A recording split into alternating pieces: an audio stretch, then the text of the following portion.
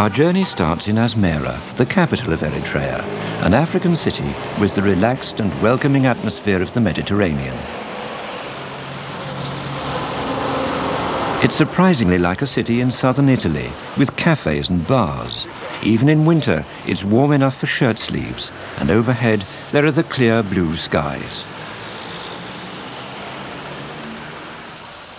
Eritrea lies on the Red Sea coast between Sudan and Djibouti and is bordered by Ethiopia to the south. Asmera is 100 kilometers from the coast and is perched on a steep escarpment over 2,000 meters above sea level. It dates from the 16th century when four villages united to protect themselves against bandits. Today, it's a city with a diversity of cultures, African, Islamic and Italian. From the turn of the century until the Second World War, Eritrea was an Italian colony. It was the first Italian governor who made Asmera the capital, and the Italians certainly left their mark on the city's architecture. The Roman Catholic Cathedral, for example, was built in the 1920s. And the streets are full of Italian cars from the 1960s. Leading off the main street are many good hotels and guest houses. This is a lived-in city where the mixture of schools, houses, offices and shops jostling side by side helps to make the visitor feel relaxed in a capital where crime is virtually unknown. It's the people who make Asmera what it is, Visitors are free to wander around, soaking up the sights and sounds as the Asmerans go about their daily lives.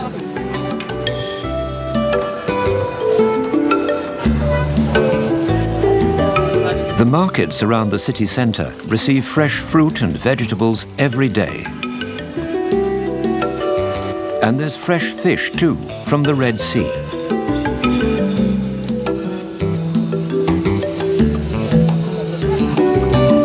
Tourists are still a novelty here. You can stroll around and enjoy the relaxed atmosphere without the hustle and bustle found in other African cities.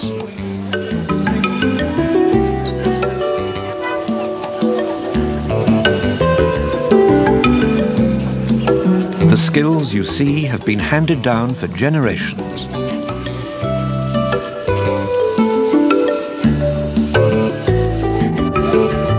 There's always a smile for the customer.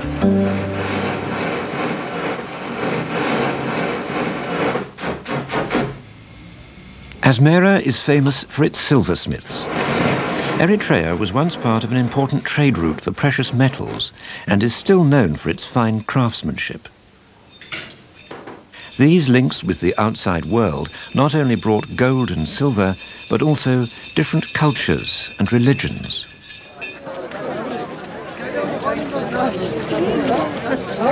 A prominent landmark is the Al Khulafa Al Rashidin Mosque. A huge crowd was leaving, one group breaking into an impromptu dance.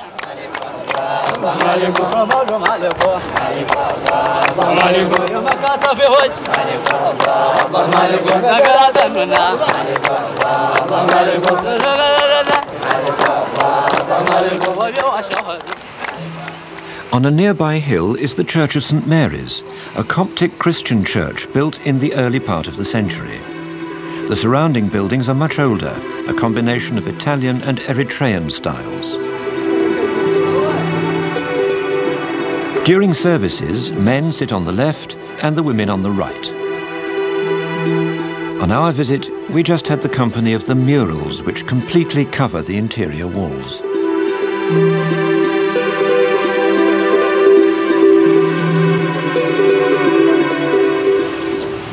There's a mix of Europe and Africa here in the gardens of the National Museum. Hollyhocks flourish among palms and other exotic plants.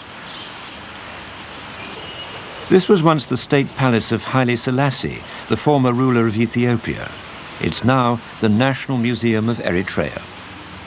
With so little written about the country, a visit to the museum is a chance to discover some history firsthand. A war museum is planned for the gardens to commemorate Eritrea's 30 years of struggle to secure independence from Ethiopia. There are many reminders of the cost of this conflict. The tank graveyard on the outskirts of the city. Asmera has many war cemeteries carefully maintained as a tribute to those who gave their lives. There have been positive relations between Eritreans and their Ethiopian neighbors.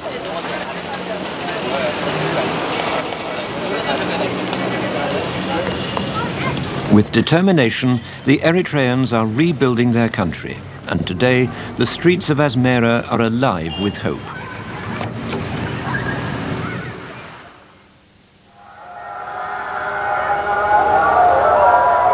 For the traveller, the call to prayer each day is as reliable as an early morning call. It's time for the road. You can tour the country by bus, but if you want to get off the beaten track, it's possible to hire a car or an off-road vehicle through one of Asmera's many tour operators. They can also arrange guides, scenic tours, transfer from the airport and hotel reservations. The Ministry of Tourism can also provide information. The first leg of our journey is through the southern highlands to Senafe, close to the Ethiopian border. The roads are good, the weather's hot, and the views are some of the most spectacular anywhere in the world.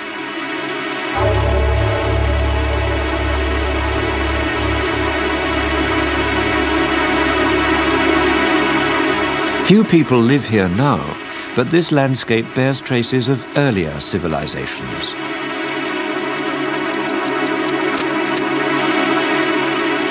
It's an area rich in archaeological sites. Most have never been excavated. Few are even visited. To be here is to step back into the distant past. That was almost true at Kahaito, when this farmer added an extension to his house, he uncovered ruins from the Queen of Sheba's reign. To find these ancient sites, it's essential to have a good guide. We were led to a place where few people have ever been. Were these lions, antelope, buffalo? They're still to be properly identified. What sort of world was outside this artist's cave?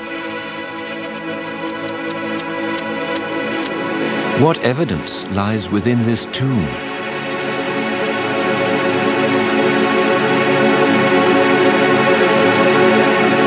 The Queen of Sheba's pool is a site of national significance. Its waters deep in legend.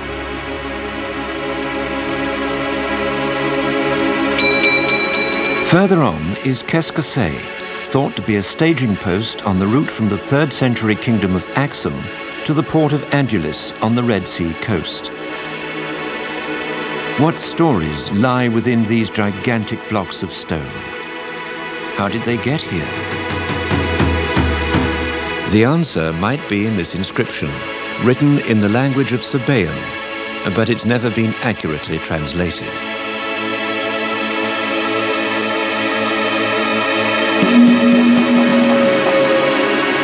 These ruins are all that's left of the cities of Matera and Belu Kalu, once home to several thousand people.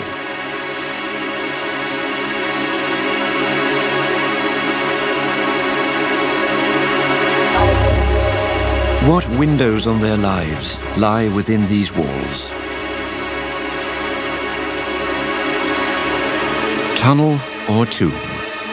Legend has it that the staircase was the entrance to an underground route to Axum.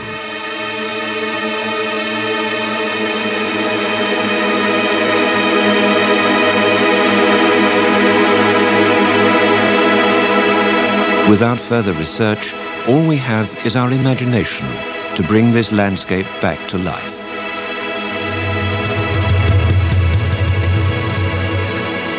This obelisk on the Senafe Road is also part of the incomplete historical jigsaw. The crescent symbol is of South Arabian origin. Was this part of the trade route to the east?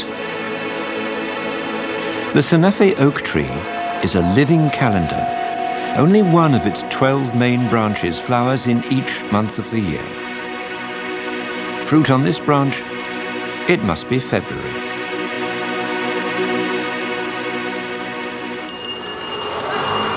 A new spring day, and as the children of Senafe make their journey to school, our travels take us north and west.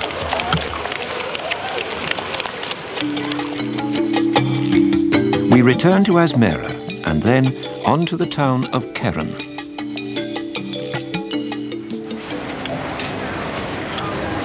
It's built on a plateau cradled by mountains, and its name means mountain. There's a gentle pace of life here, on our visit, we saw more camels than cars. It was the day of the wood market, attracting people from outlying villages. There are many different kinds of craftsmen here.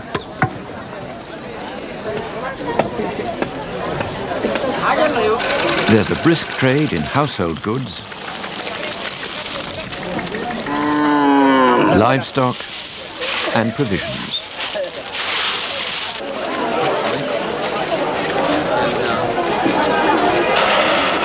Keren is another important centre for gold and silversmiths, and their workshops line the street close to the main market.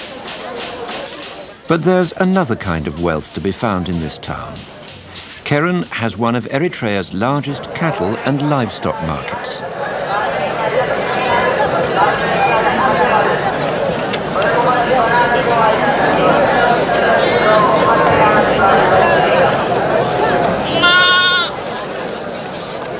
Within walking distance of the market is the shrine of St. Mariam Dirit, set in the heart of a baobab tree.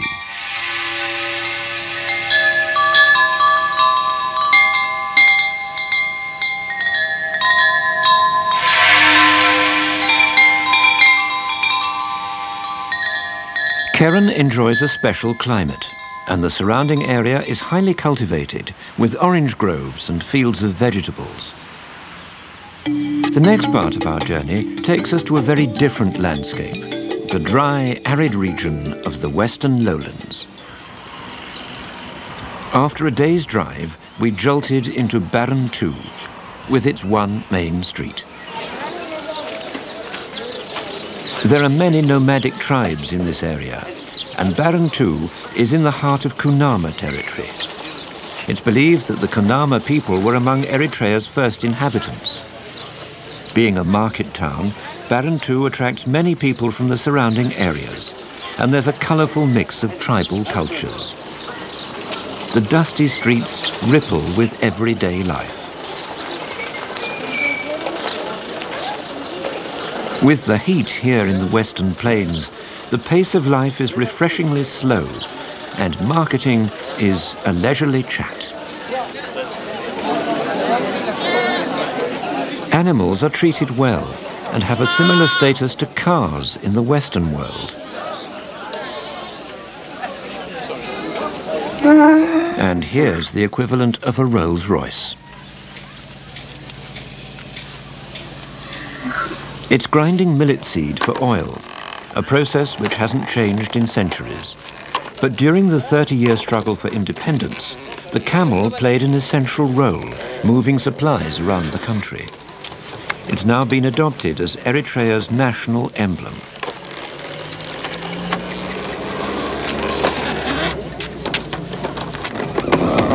One of the joys of traveling in Eritrea is that it's full of surprises. And here the everyday swells into a special day. Wave after wave of celebration rolls into town.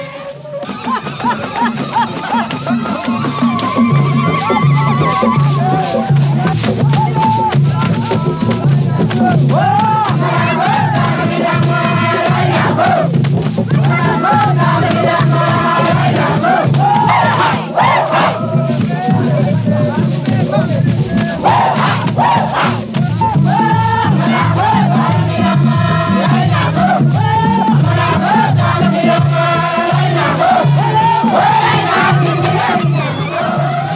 local priest has just returned from being ordained in Rome. Tribal communities of every denomination join in the procession to welcome him home.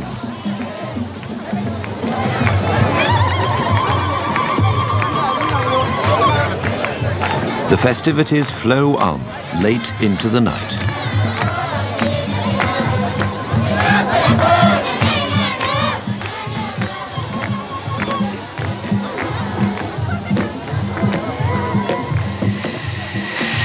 We're back in Asmera, at the railway depot. The railway was built in the early years of this century by the Italians to link the capital with the port of Massawa. An engineering miracle, 115 kilometers of winding track.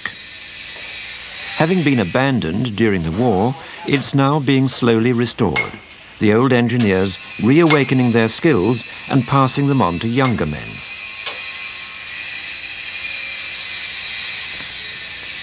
The old locomotives face towards Massawa, but the tracks go no further than the yard. With no trains running, people have found other uses for the railway sleepers. They make ideal fencing. With the national plan to reinstate the railway, an amnesty has been declared and the borrowed sleepers are being returned. Children who have never seen a train use the track bed through a tunnel as a shortcut to school. The route of the old line can be traced running parallel to the main Massawa road. Cutting a ledge around the mountainsides and dipping in and out of 59 tunnels. The next stage of our journey is also to Massawa.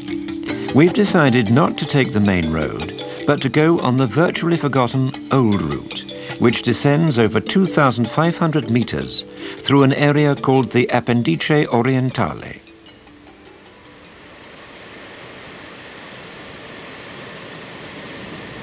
We'd been told we would travel through three climates in two hours' drive. The first, the dry weather of the Asmeran plain we'd grown to expect. The surprise came as we began our descent down the track of hairpin bends. These mountain slopes are continually bathed in damp clouds which roll in daily from the coastal plains. We zigzag down the steep escarpment into the swirling clouds.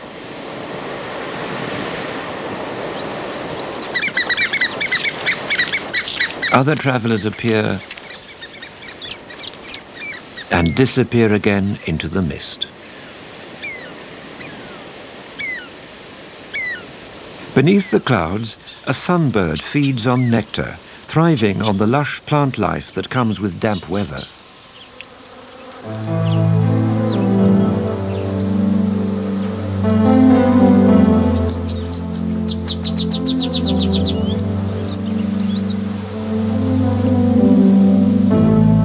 This area is a haven for wildlife, offering extensive cover and a plentiful water supply.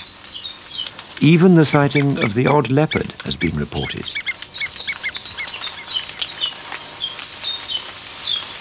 The rainforest climate is ideal for coffee trees, and they're being cultivated commercially on some of these slopes.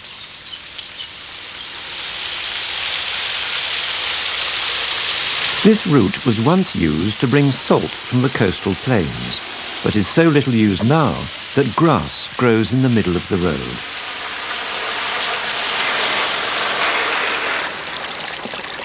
In the lower foothills, the rivers flow into an area of volcanic activity. And at Mai Wui, we find the bubbling hot springs of a sacred communal pool. There are plans to develop this area into a health spa. We are now in the third climatic region, the hot coastal plain. This is Massawa. Cooled by sea breezes, the town is built on two islands just off the coast. It's linked to the mainland by a causeway, which also takes the railway line.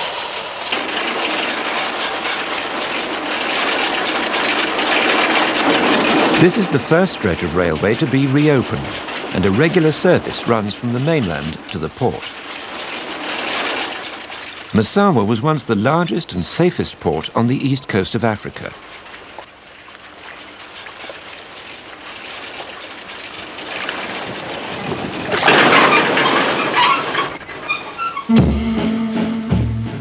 The whitewashed buildings recall grander times when there were great balls at the Red Sea Hotel the harbour was a base for genteel yachting. Massawa still has great charm and is destined to become a major resort for tourists. Architecturally, the city is an intriguing mix of Italian and Middle Eastern styles.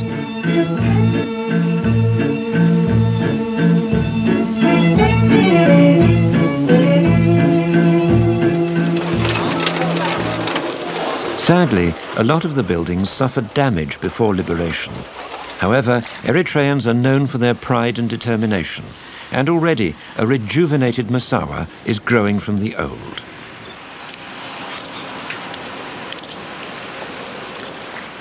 These are the rebuilt government offices. The harbour welcomes visiting yachts, as well as being a base for traditional fishing dhows.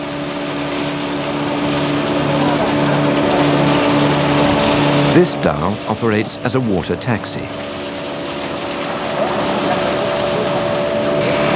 Before setting out to sea, fishermen load ice at the quayside. And visitors load provisions. At the Dahlak Hotel, you can charter a boat and enjoy the luxury of cruising.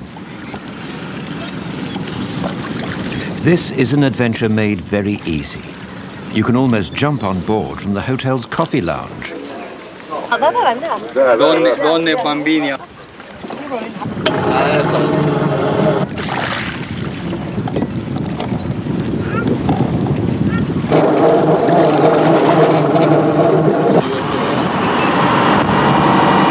We are now heading for the Dahlak archipelago, 350 islands just off the coast of Eritrea, renowned for the diving and bird life.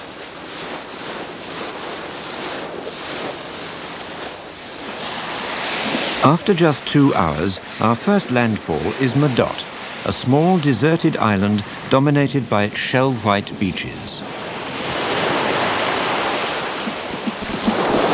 Land temperatures can reach up to 45 degrees in summer months, and the Caribbean-like waters are as refreshing as a warm bath.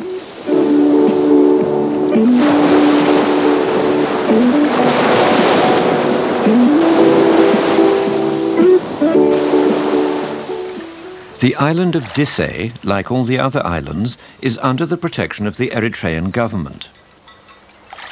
Permission to visit can be obtained from the tourist offices in Massawa.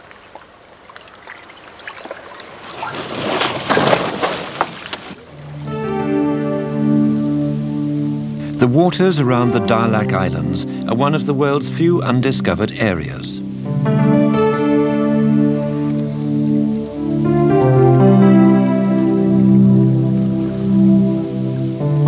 As a result of the lack of fishing in past years, there's an abundance of life to be found in the coral caves and crevices.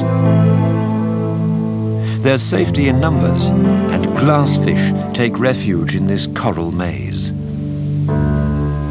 An angelfish confuses would-be predators with its color scheme, and tiny clownfish make their home in the stinging tentacles of a sea anemone. Camouflaged in the rocks, a large stingray rests. A giant grouper hovers on the outer reef, and below, a lionfish hunts for a meal.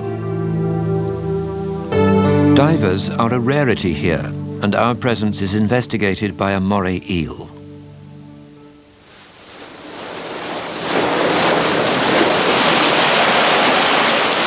Our next stop, 500 kilometers to the south, is Aseb, Eritrea's main port and a major route for imports into Ethiopia. We're at the southern end of the country and the closest we come to the border with Djibouti.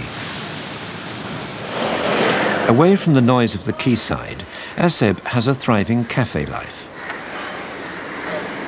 and a friendly air. The tree-lined streets are refreshed by sea breezes, making Aseb more temperate than the surrounding inland areas. The Church of St. Michael is next to a beach which is home to the local fishing fleet. The fishermen carry out their own repairs. Nearby, new boats are still being built in the traditional way. Fish isn't the only harvest of the Red Sea. It also provides Aseb with a major export, salt. With the help of some machinery, salt is still produced as it has been for thousands of years. Seawater-filled pools are left to evaporate in the wind and sun. Dehydration is something we now have to guard against. For tomorrow morning, before sunrise, we must leave Aseb, heading north on a two-day drive of over 700 kilometers.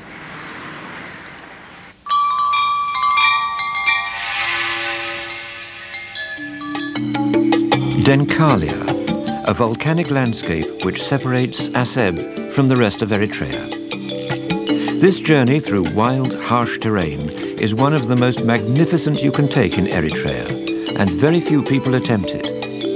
As we set out for Massawa, one well-wisher bid us safe journey and added, be brave.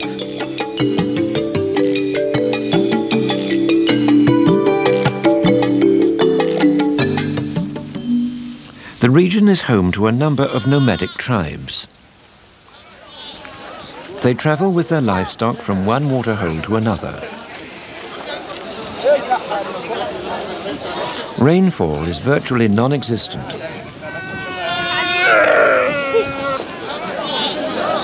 The waterholes are not only a source of a precious commodity, they're also social meeting points. These people rarely see tourists, so it's important to respect their cultural traditions. You should always ask before taking photographs of them.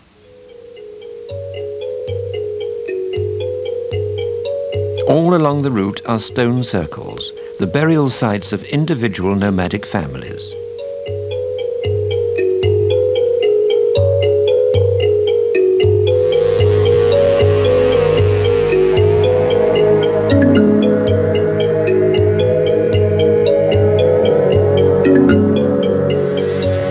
We now head inland, following tracks and dried up riverbeds.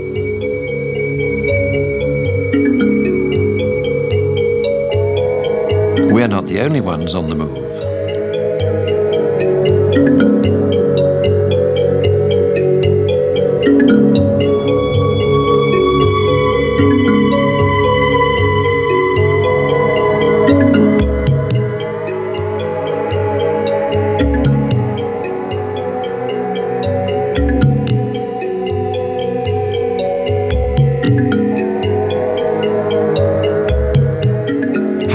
Past the halfway mark, we reach Tio just before nightfall.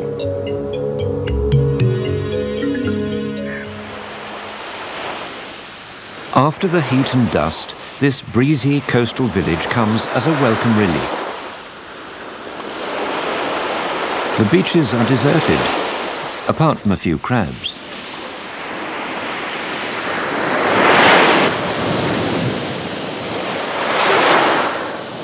Tio is the biggest fishing village between Aseb and Massawa.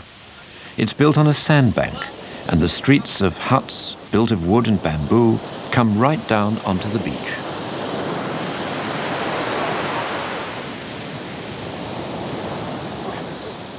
In the rainy season, Tio can be cut off for several weeks when the fine sand turns to mud.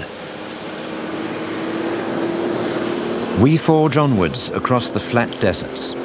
Our next destination is the ancient port of Adulis.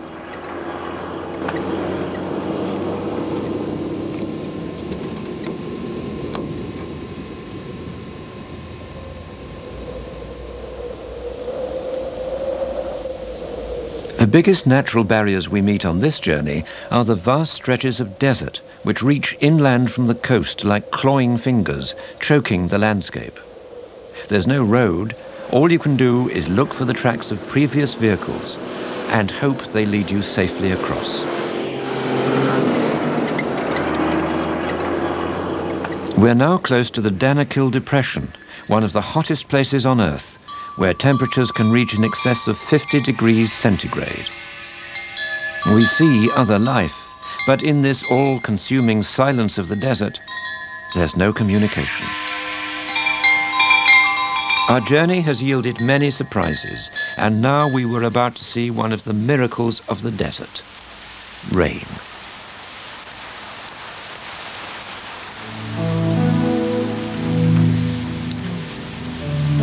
Plants here often have to wait years for water, and when it does come, they blossom into their short lives.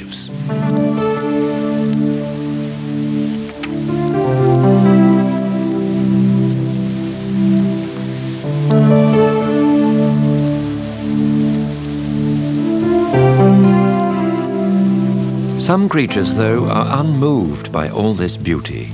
To them, it's strictly utilitarian.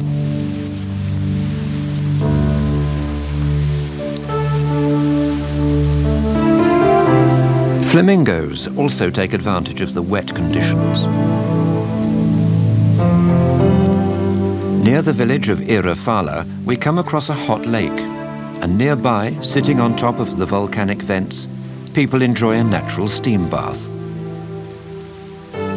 What better to do on a rainy day in Denkalia? As we approach Adulis, we pass a camel train heading inland towards Senafe. Could this have been the original trade route from the coast to the upper regions of Eritrea and beyond into Ethiopia?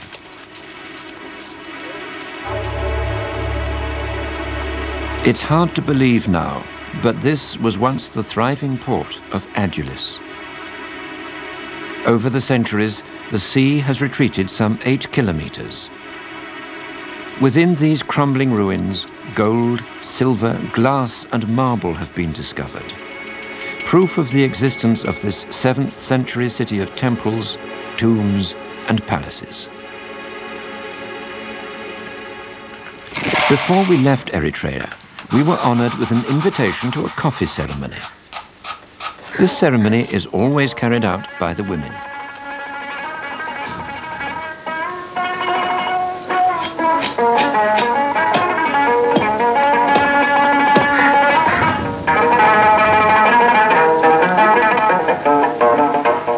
Once the roasted beans have been crushed, they are put into the coffee pot, which is brought to the boil on a charcoal fire.